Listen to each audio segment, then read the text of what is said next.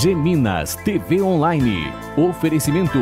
Ritmo Veículos, essa você não pode perder. Confira. Onix com ar, direção airbag e ABS por 35.990. Taxa zero em 36 vezes e parcelas protegidas de apenas 499 reais. Essa você não pode perder. Corra para Ritmo Veículos de Guaxupé.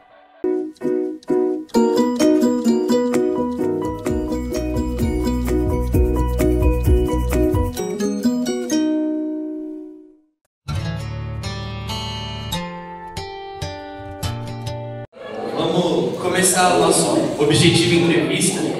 E para isso eu queria convidar a nutricionista Mariana. Vamos receber ela com aplausos também, pessoal.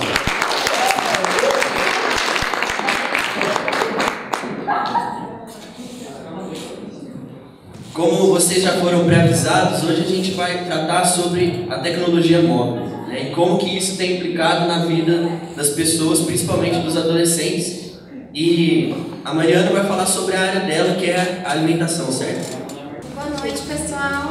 Boa noite. Tudo bem? Tudo bem. Bom, hoje então a gente vai falar um pouquinho sobre alimentação saudável, principalmente ligado a vocês, jovens e adolescentes. E então eu queria passar um vídeo, tem como aí, Martim? Pra, pra gente estar tá fazendo uma deixa para esse assunto, né?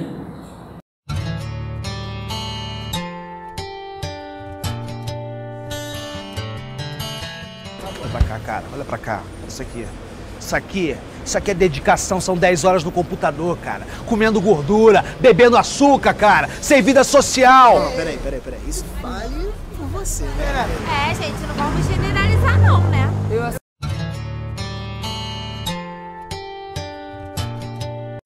Então, esse vídeo curtinho demonstra um pouco da, de uma realidade que tem sido bem comum no nosso país, né? É, uma nova profissão surgiu chamada esportes eletrônicos e as pessoas dedicam muito tempo no computador, que é diferente dos outros esportes que elas se exercitam, né?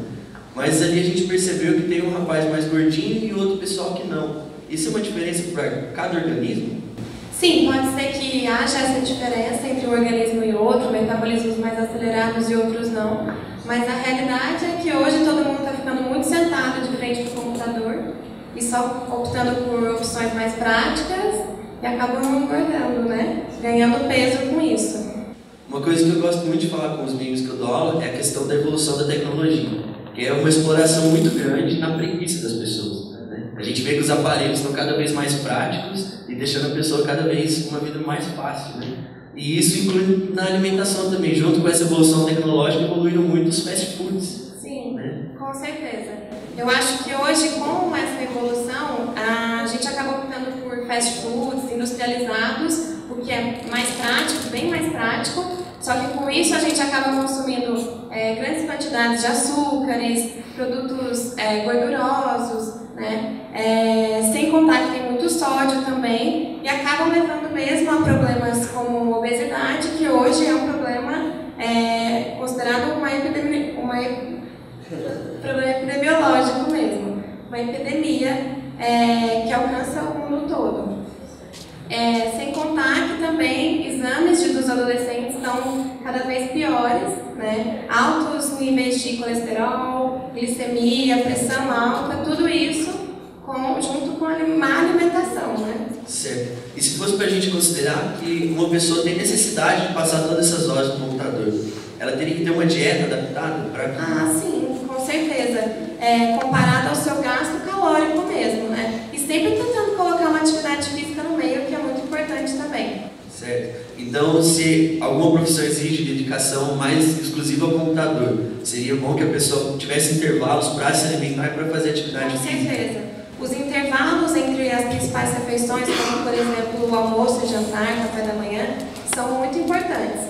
Então é, é necessário esses lanches, esses intervalos entre uma refeição e outra e associar a atividade física. Bacana. Uma coisa que meu pai sempre falou muito para mim é que o jovem não tem costume de pensar no futuro. E é um fato, né? A gente vê jovens e adolescentes que têm muita dificuldade de pensar lá na frente. E essa questão da alimentação implica muito nisso, né? Quais são os riscos para um adolescente que não se alimenta direito?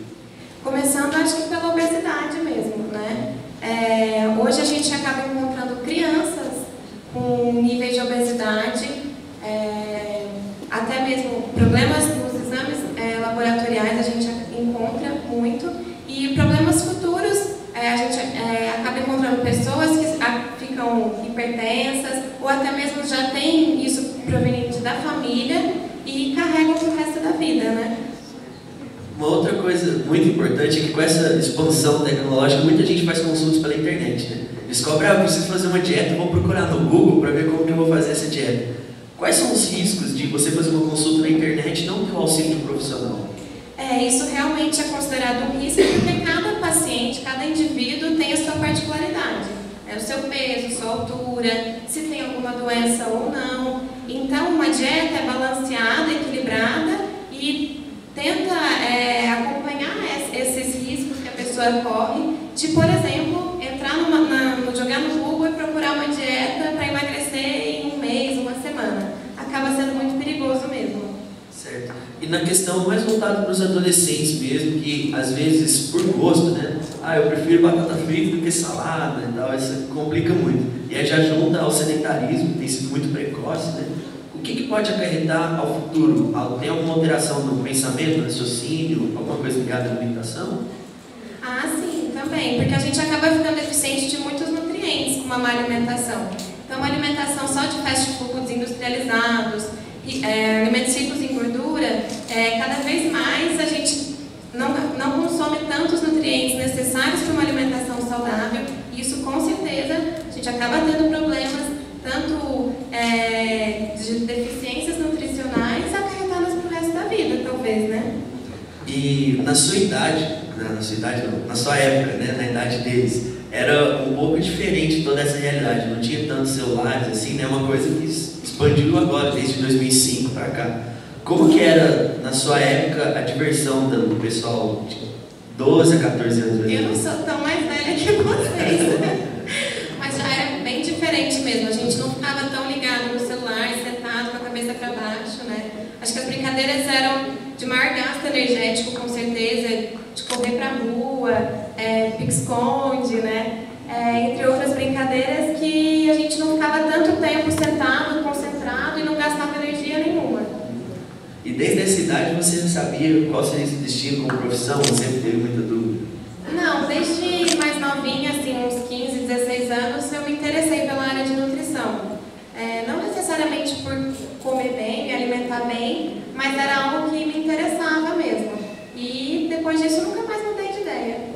E se alguma pessoa que se interessasse por essa área, você acha que poderia ser interessante para ela, como para sondar a si mesmo? Né? Nossa, eu quero fazer nutrição, mas eu passo o dia inteiro no celular, não como direito, ah, eu então fico o dia inteiro na frente do computador, ou fico o dia inteiro lendo, que também é um problema, né? Tudo em excesso causa alguma, algum problema. Você acha que poderia ser um auxílio para ela, até para o ciclo de amizade dela, se ela se interessasse por essa área?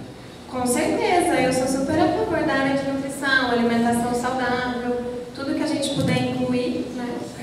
E você queria fazer algum comentário pro pessoal, alguma coisa dessa questão? Ah, sim, eu acho que a mensagem que fica é que tomar cuidado mesmo por esse sedentarismo que a gente está exposto cada dia mais, né? É, tomarem cuidado com as escolhas que vocês acabam fazendo, que nem sempre são as mais saudáveis e sim as mais práticas.